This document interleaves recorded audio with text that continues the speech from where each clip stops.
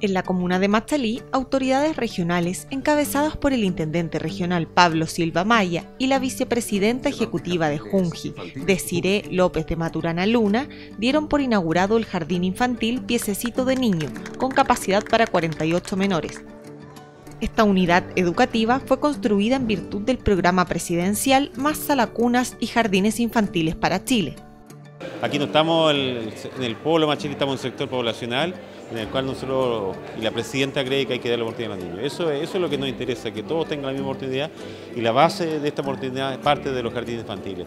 Nosotros con la, única posibilidad que tenemos que los niños crezcan, lleguen a la universidad en las mismas condiciones que gente que, tiene recursos, es partiendo con una buena calidad de educación parvular. Es el estándar que estamos poniendo, la verdad, en todos los jardines infantiles de esta meta presidencial, porque la idea es que la educación parvularia se pueda dar en estos espacios que tienen un estándar también eh, de los países de la OCDE.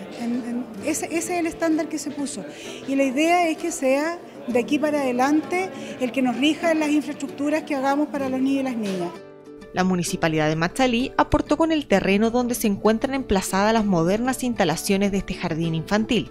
Hoy día me siento orgulloso de que hoy día estamos inaugurando el mejor jardín de la comuna de Machalí.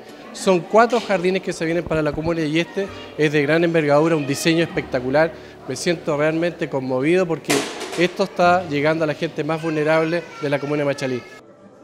Por su parte, la directora del recinto, Viviana Abarca, destacó las características de la infraestructura de más de 429 metros cuadrados de construcción.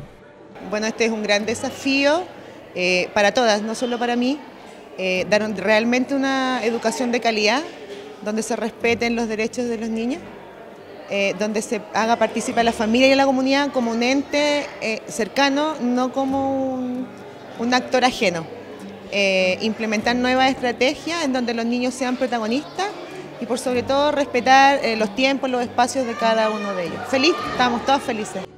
Es importante señalar que el monto total de este proyecto superó los 450 millones de pesos.